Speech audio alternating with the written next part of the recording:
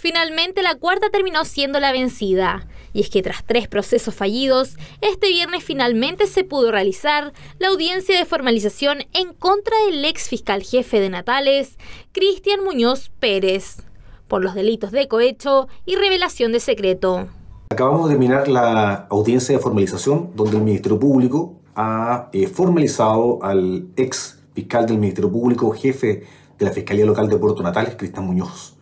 por los delitos de cohecho y por los delitos de violación de secreto en el marco de la Ley 20.000. Formalización que no estuvo exenta de tensiones, pues una vez se individualizaron todos los intervinientes, el abogado defensor Andrés Cruz Carrasco solicitó la inhabilitación del juez Juan Villa de este caso debido a que entregó declaraciones a medios de comunicación y antecedentes sobre por qué fue válido iniciar este proceso judicial. Ante esta solicitud, y pese a los argumentos que entregó el magistrado sobre imparcialidad, acogió la petición. Despejar eh, cualquier duda y garantizar el derecho de los intervinientes a,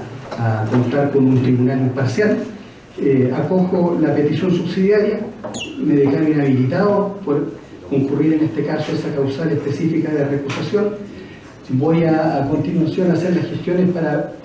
ver si es posible que otro juez me reemplace. La jueza Mónica Mancilla asumió el caso contra el ex fiscal, en donde la fiscalía pidió prisión preventiva contra el imputado, la cual, tras la presentación de los alegatos, terminó en arresto domiciliario total. Determinó que si bien existía o se encontraba acreditado el delito de violación de secreto y por otro lado se encontraba acreditado el delito de eh, cohecho, estimó que la medida cautelar personal de prisión preventiva era más gravosa, era eh, desproporcionada, razón por la cual, aun cuando da por acreditado los delitos y la participación que le corresponde a Muñoz en los mismos, establece que eh, con el arresto domiciliario total y con el arraigo nacional serían suficientes. Tenemos un plazo judicial fijado de 90 días de investigación. Ante la decisión de la magistrada, la Fiscalía buscará apelar.